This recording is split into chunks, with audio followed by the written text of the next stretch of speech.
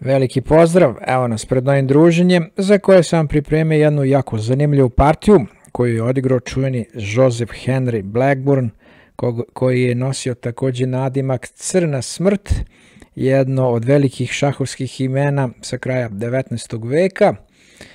Inače, današnju partiju je odigrao protiv Leversona i partija je nastavljena Evansovim gambitom.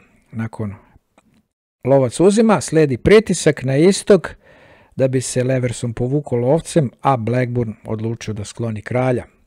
Sledi D6, D4, napad na centar, dolazi do nove razmene i povlačenja lovca na polje B6.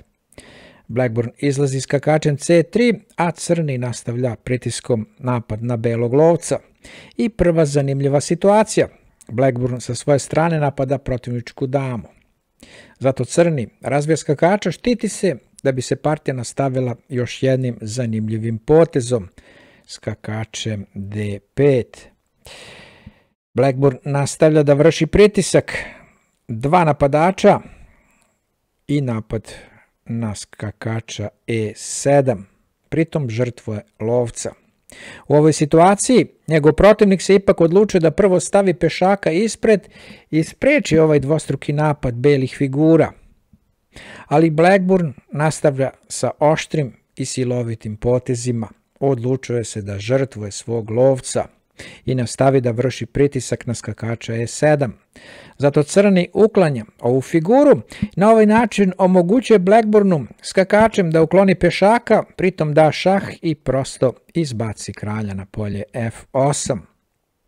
Evo nas u novom zanimljivom momentu igre u kojem je još jednom Blackburn prebacuje skakača na G5, otkriva izlazak damom i još jednom ne haje za svog lovca. Crni koristi priliku uklanja lovca, dolazi dama na F3 na suprot protivničkog kralja.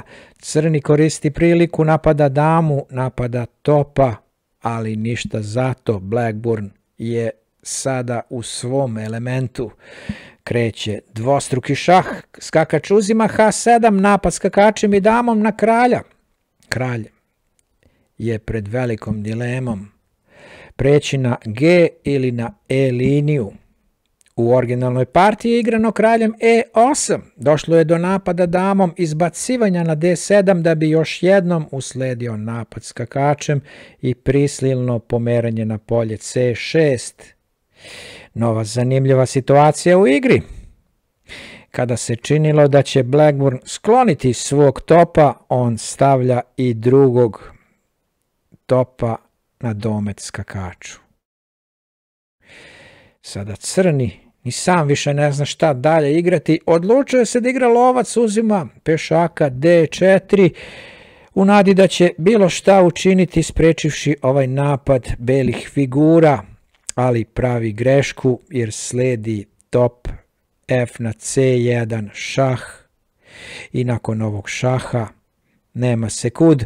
Odbrana lovcem C5 da bi nakon tog poteza usledilo forsirano dama D5 sa šahom, žrtva dame, skakač uzima, pešak uzima i daje mat.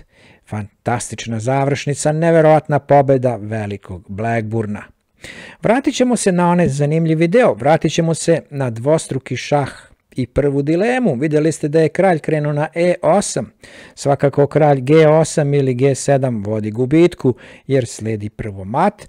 U slučaju da je igrano na G7 nešto duža varijanta prvo šah i nakon toga mat.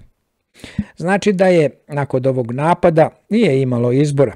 Moralo se kraljem na E8, usledio je šah, videli ste izlaza kralja na D7, novi šah, kralj C6 da bi došlo do pomeranja topa A na B1. Da li je crni ipak mogo nešto da učini da je uklonio jednog ili drugog topa? Šta bi se dogodilo da igrao skakač uzima topa F1? Usledio bi šah. Crni bi morao da se brani jedinom figurom, a to je lovac i dama B5 bi bio mat. Znači, ništa bolje ne bi prošao.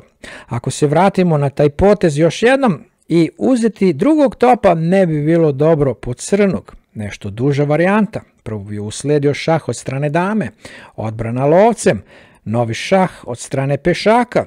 Ovdje bi već crni morao da odluči šta će dalje, morao bi da čak i pokuša da i da žrtvuje. Skakač uzima pešaka, pešak uzima skakača, da je šah, konačno izbacuje kralja da bi došao na domet topu koji uklenja skakača, pritom dajući šah. I još jednom nema se kud, žrtva lovca je uzaludna jer nakon toga ipak se kralj prebacuje na polje A5 da bi dama matirala. Jedna fantastična partija velikog i čuvenog Blackburna. Toliko. Hvala.